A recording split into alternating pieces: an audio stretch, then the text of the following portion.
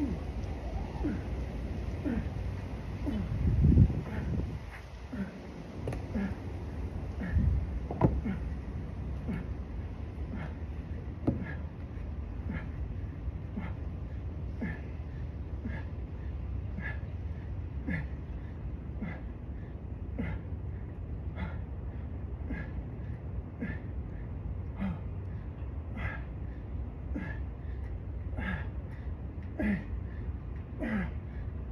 Hmm.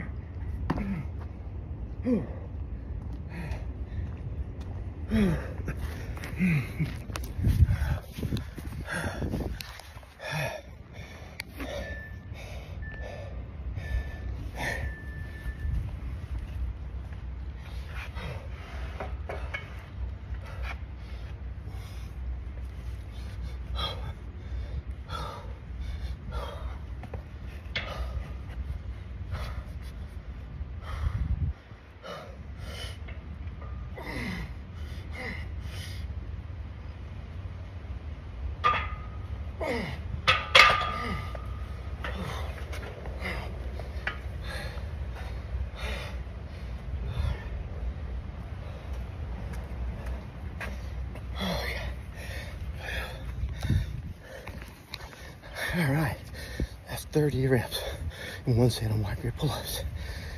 And one rep with 445 pounds was that bench press. Well done, good job.